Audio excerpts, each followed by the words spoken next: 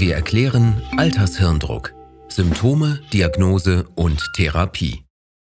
Familie Schmidt ist mit den Kindern zu Besuch bei Oma Erika. Während des gemeinsamen Spaziergangs im Park fällt ihnen auf, dass Oma sehr schlecht läuft und beim anschließenden Kaffee wirkt sie zunehmend verwirrt. Zu Hause sind Herr und Frau Schmidt ganz unsicher. Sind das etwa Zeichen von Alzheimer oder einfach das Alter?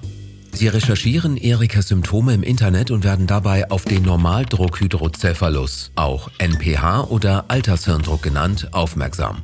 Das möchten sie mit einem Fachmann besprechen. Zusammen mit Oma gehen sie deshalb zum Neurologen. Der erklärt, dass es in unserem Gehirn sogenannte Hirnkammern gibt, die mit Hirnwasser gefüllt sind. Bei einem Normaldruckhydrocephalus weiten sich diese Kammern und das Wasser drückt auf das Gehirn.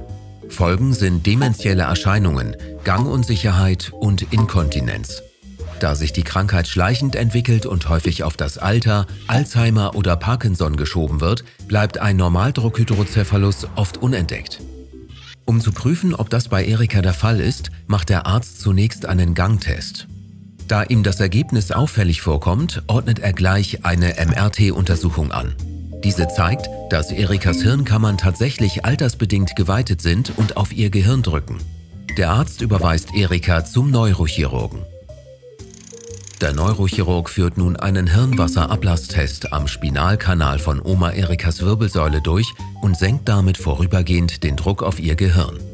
Erika fühlt sich nach dem Test klarer und auch ihr Gangbild ist merklich besser. Für den Neurochirurgen steht fest, Erika leidet an Altershirndruck. Familie Schmidt und Oma Erika sind froh über diese Diagnose, denn Altershirndruck lässt sich therapieren. Durch das Implantieren eines verstellbaren Gravitationsventils kann der Hirndruck reguliert werden. Überflüssiges Hirnwasser wird einfach abgeleitet. Die individuelle Einstellung erfolgt jederzeit komfortabel hinter Erikas Ohr und das Ventil ist von außen gar nicht sichtbar. Schon wenige Tage nach Erikas OP zeigt sich eine anhaltende Verbesserung der Symptome. Familie Schmidt ist ganz verblüfft, wie gut Oma jetzt wieder gehen kann.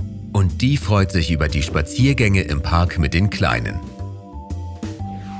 Mehr Informationen zur Diagnose und Therapie von Altershirndruck finden Sie auf mietke.com.